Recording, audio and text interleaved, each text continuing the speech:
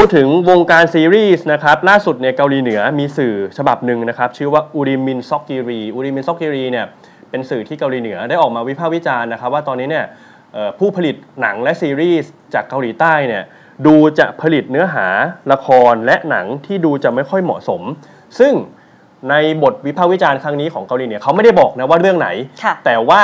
บทวิเคราะห์จาก BBC ก็บอกว่าเอ๊ะฟังจากซุ้มเสียงแล้วเนี่ยและทามมิ่งเนี่ย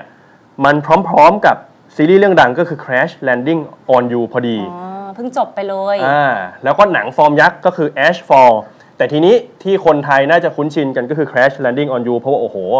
สหายผู้กองเพียบเลยนะ ดูหนังเรื่องนี้กัน บทบรรณาธิการในอุริมิซอนซอนกิรีเนี่ยแสดงความเห็นนะครับ บอกว่าเมื่อเร็วๆนี้เจ้าหน้าที่เกาหลีใต้และผู้สร้างหนัง ได้ฉายหนังและละครที่สร้างความหลงผิด ตบตา ไร้สาระ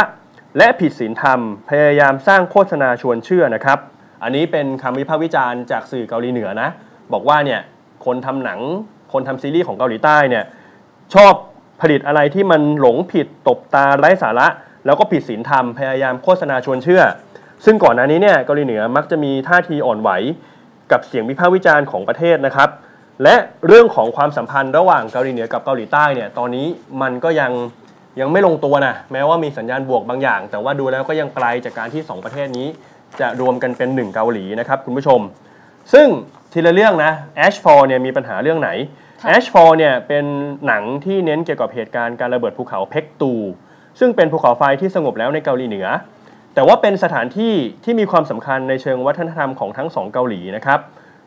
เกิดการระเบิดอย่างไม่คาดฝัน ส่งผลให้เกิดแผ่นดินไหวครั้งใหญ่บนคาบสมุทรเกาหลี ตามพล็อตเรื่องของหนังเรื่องนี้เนี่ยวิธีการเดียวที่จะยับยั้งความรุนแรงได้ ก็คือการฝังระเบิดปรมาณูไว้ที่ใต้ภูเขา การระเบิดเนี่ยจะช่วยหยุดยั้งแผ่นดินไหวเอาไว้ได้ ทีนี้ในหนังเนี่ยมีการพูดถึงการขโมยอาวุธนิวเคลียร์จากเกาหลีเหนือเพื่อทำลายภูเขา ซึ่งประเด็นนี้นักวิเคราะห์ของ BBC เขาก็เลยมองนะครับว่ามันอาจจะไปสร้างความไม่พอใจให้กับทางฝั่งเกาหลีเหนือได้ เพราะว่ามันมีฉากที่เจ้าต้องไปขโมยอาวุธนิวเคลียร์จากเกาหลีเหนืออแม้ว่าเรื่องนี้เนี่ยตอนจบ รัฐบาลสองฝั่งจะจับมือกันนะครับ เพื่อฟื้นฟูคาบสมุทรเกาหลี แต่ว่าเนื้อหารวมๆแล้วเนี่ยเกาหลีเหนือก็อาจจะไม่พอใจก็เป็นไปได้เนี่ยนะครับอันนี้ Ashfall นะ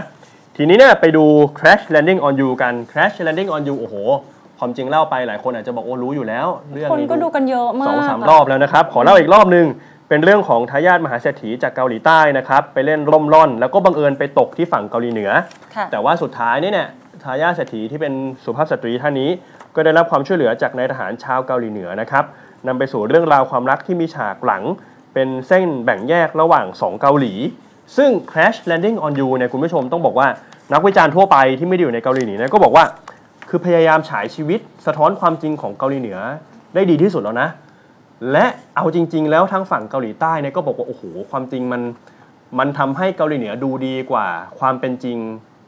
ไม่น้อยด้วยซ้ำค่ะ แต่สุดท้ายก็อาจจะทำให้เกาหลีเหนือไม่พอใจอยู่ก็เป็นไปได้เนี่ยนะครับอูริมินซอกกีรีเนี่ยนอกจากจะพูดถึงซีรีส์แล้วก็พูดถึงหนังแล้วเนี่ยยังตำหนิ